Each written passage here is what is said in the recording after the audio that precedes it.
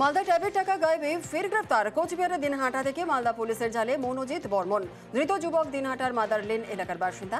মালদার হবিপুরের কেন্দ্রপুকুর হাই স্কুলের পড়ুয়ার টাকা জমা পড়ে মনোজিতের অ্যাকাউন্টে। আর ধৃতকে জিজ্ঞাসাবাদ করছে মালদা থানার পুলিশ। ট্যাব জালিয়াতিতে অ্যাকাউন্ট ভাড়া নিয়ে ভাড়া দিয়ে গ্রেপ্তার। বৈষ্ণবনগর থেকে গ্রেপ্তার সিরাজুল মিয়া নামে এক যুবক। ভাড়া দেওয়া অ্যাকাউন্ট থেকে এরপরে স্ত্রীর অ্যাকাউন্টেও টাকা ট্রান্সফার যুবকের। এবার পুলিশে জালে অভিযুক্ত। ট্যাবের টাকা গায়েব আরামবাগেও। তরুণের স্বপ্ন প্রকল্পে ট্যাবের টাকা গায়েবে রাজ্য জুড়ে শোরগোল। এবার জালিয়াতি শিকার আরামবাগের পড়ুয়াও। অভিযোগ, কয়েকটি স্কুলের পড়ুয়াদের ট্যাবে টাকা অন্য অ্যাকাউন্টে গিয়েছে। স্থানীয় থানা ও সাইবার ক্রাইম দপ্তরে অভিযোগ দেয় আমার ট্যাবের টাকাটা ঢোকে নেই। আমাদের স্কুলের যে প্রধান শিক্ষক, আমি ফোন করেছি। আমি বলছি, স্যার, এরকম আমার টাকা ঢোকে নেই। আমার জায়গায় অন্য একটা ব্যাংক অ্যাকাউন্ট বসে গেছে ওইখানে। বিহার ওই ওই সব দিকের অ্যাকাউন্ট একটা বসেছে। ট্যাব জালিয়াতির হদিশ এবার নদিয়াতেও। কালীগঞ্জ ও চাপড়ার দুই স্কুলের সাতাশ পড়ুয়া জালিয়াতির শিকার। দুই স্কুল থেকে সংশ্লিষ্ট থানায় অভিযোগ দায়ের।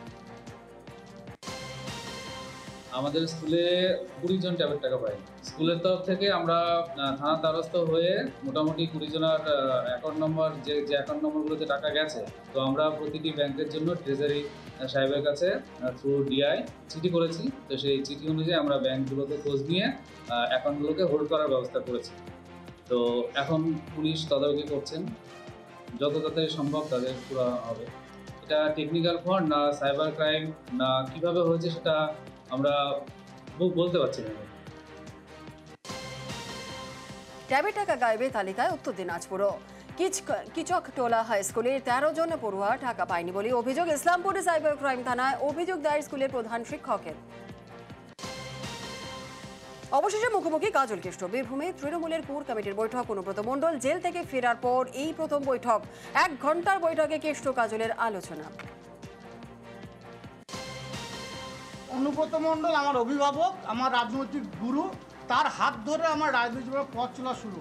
তো একবার নয়, বারবার আপনাদের মাধ্যমে বলেছি, আজকেও সে কথা বোলপুর দলীয় কাতিলে বসে আমি বলব। আগামী দিনে কীভাবে বীরভূমে চলবে তৃণমূল? ছাব্বিশের বিধানসভা ভোটের রণকৌশল কি হবে? আর এই সব নিয়েই আলোচনা হয় এদিনের বৈঠকে। বৈঠকের পর মিলেমিশে চলার বার্তা নেতৃত্বের। আগামী পনেরোই ডিসেম্বর ফের কোর কমিটির বৈঠক। যে যেখানে দায়িত্বে আছে, সে সেখানে দায়িত্ব পালন করবে। এটা দলনেত্রীর নির্দেশ, আমাদের অভিষেক বন্দ্যোপাধ্যায়ের নির্দেশ এবং প্রত্যেকটি বিষয় কোর কমিটিতে আলোচনা উত্তর ব্যারাকপুর পুরসভার ভাইস চেয়ারম্যানের অসমৃত শুক্রবার থেকে নিখোঁজ থাকার পর শনিবার বাড়ির চিরে কোঠায় মেলে দেহ। দেহের পাশে উদ্ধার সুইসাইড নোট। সেখানেই এক মহিলার নাম ঘিরে রহস্য। মহিলা তাকে প্রায় টাকার জন্য ব্ল্যাকমেইল করতে বলে সুইসাইড নোটে উল্লেখ। আবর্জনা তোলা নিয়ে পানিহাটিতে পুরসভার ঠিকাদার দ্বন্দ্ব, বন্ধ ভাগার বিটি রোড, নীলগঞ্জ রোড আর এন এভিনিউতে জঞ্জালের পাহাড়, চরম সমস্যায় পড়েছেন বাসিন্দারা। বড়দিনের আগেই পর্যটকদের জন্য তৈরি হচ্ছে দীঘা। জোর কদমে চলছে জগন্নাথ মন্দির তৈরির কাজ। চলছে মন্দিরের বাইরে, নেচার পার্ক তৈরির কাজও সমস্ত কাজ খতিয়ে দেখতে শনিবার দীঘা যান জেলা শাসক পূর্ণেন্দু মাঝি, সঙ্গে ছিলেন কাঁথির মহকুমা শাসক রামনগর এক ব্লকের ভিডিও কসবাই কাউন্সিলরের ওপর হামলার ঘটনায় ধৃত বেড়ে তিন, এবার গ্রেপ্তার মূল অভিযুক্ত পুলিশের জালে ইকবাল ওরফে আফরোজ, হামলাকারী যুবক যুবরা- যুবরাজ কুমার এবং ধৃত ট্যাক্সি চালককে জেরায় ইকবালের নাম উঠে আসে। এরপরই গ্রেপ্তার মাস্টার মাইন্ড আফরোজ। আফরোজ সম্পর্কে আরও তথ্য পুলিশের হাতে। সে বিহারের বাসিন্দা হলেও প্রায় বারো বছর ধরে কলকাতার পঞ্চান্ন গ্রামের গুলশান পল্লীতে থাকতেন। আর এই এলাকারই কাউন্সিলর সুশান্ত ঘোষ। এমনকি তৃণমূল কাউন্সিলরের এক ঘনিষ্ঠ ব্যক্তির সঙ্গে আফরোজের যোগাযোগ রয়েছে বলে দাবি তদন্তকারীদের। এখানেই প্রশ্ন কাউন্সিলরের ওপরে হামলায় কি তবে পরিচিতরাই জড়িত? তদন্তে কলকাতা পুলিশ। রবিবার আলিপুর আদালতে পেশ করা হবে কাউন্সিলর হামলায় মূল অভিযুক্ত আফরোজকে। কেন এক মাস আগে থেকে সুশান্তর গতিবিধিতে নজর রেখেছিল আফরোজ? জানতে চান তদন্তকারীরা। কেন আফরোজের টার্গেট ছিল কাউন্সিলর? রবিবার নিজেদের হেফাজতে নিয়ে জেরা করতে চায় পুলিশ। জমি বিবাদেই কসবায় হামলা। কাউন্সিলরের ওপর হামলায় চাঞ্চল্যকর দাবি ধৃত আফরোজের। দু হাজার স্কোয়ার ফিট জমি দখল করেন সুশান্ত কনিষ্ঠ হায়দার। দাবি ধৃতের। সুশান্ত ঘোষকে কড়া ভাষায় আক্রমণ আফরোজের। অভিযোগে গুরুত্ব দিতে নারাজ কাউন্সিলর।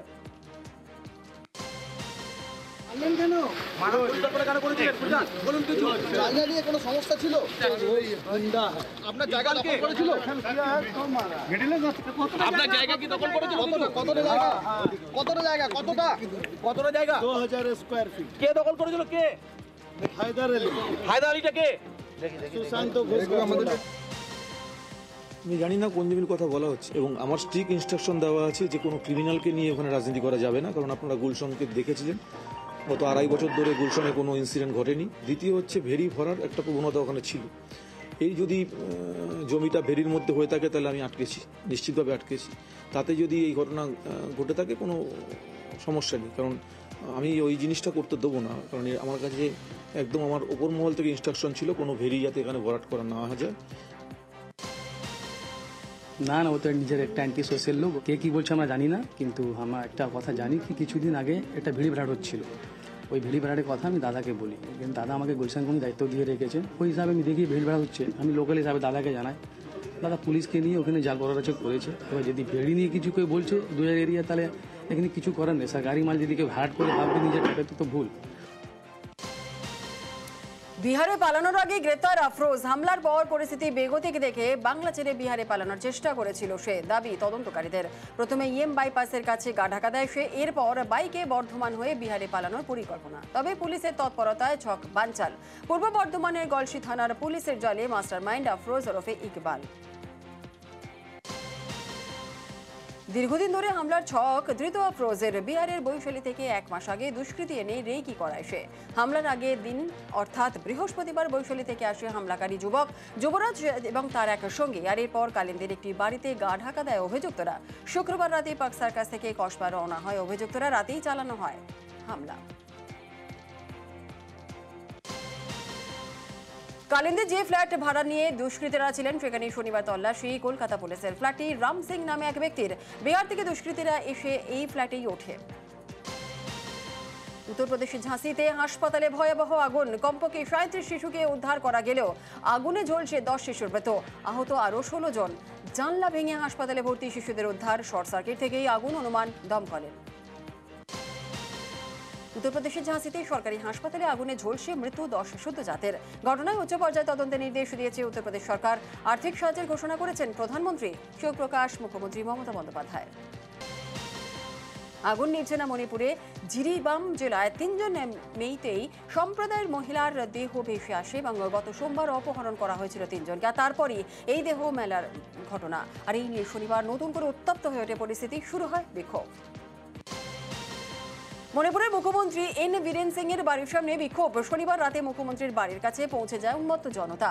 রাতে সে সময় বাড়িতে বীরেন ছিলেন না বলেই খবর। জিরিরাম জেলাতে ছজনের অপহরণ এবং খুনের বিচার চেয়ে সে রাজ্যে প্রতিবাদ চলছে। রাজ্যে দুই মন্ত্রী এবং তিন বিধায়কের বাড়িতে হামলা চালানো হয়। বুথ জেতাই হোক আসল টার্গেট ভোটের মহারাষ্ট্রে দলের নেতাকর্মীদের এমনই নির্দেশ দিলেন নরেন্দ্র মোদী। তৃণমূল স্তরে সাফল্য পেলে তবেই রাজ্য জেতা যাবে।